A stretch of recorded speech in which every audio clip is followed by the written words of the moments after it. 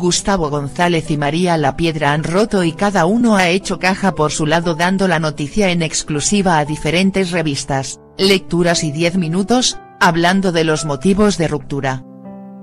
Los colaboradores de Sálvame en general esperaban que ella hablara, pero no que lo hiciera Gustavo.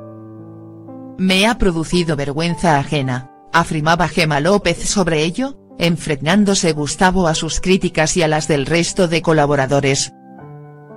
Algo que ha producido un tremendo enfrentamiento que ha sumido a Sálvame en un caos.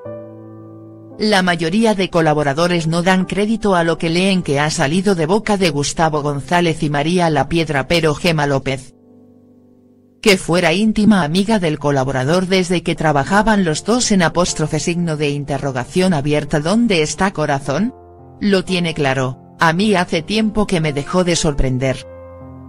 La periodista se propuso alejarse porque ella lo pasaba mal pero confiesa que las portadas le producen vergüenza ajena.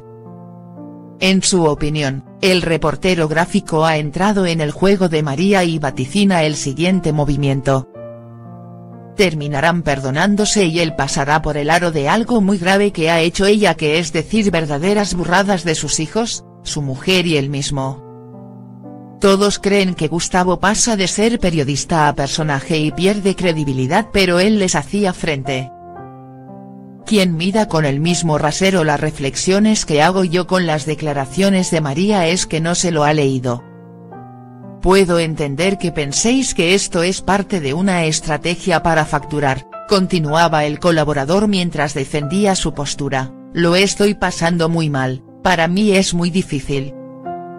Además, ha dejado claro que sigue estando del otro lado, yo soy periodista de carrera, he pasado cinco años en la facultad, ¿Y para qué te ha servido? Le preguntaba Mila Jiménez con gran dosis de cinismo y mala leche.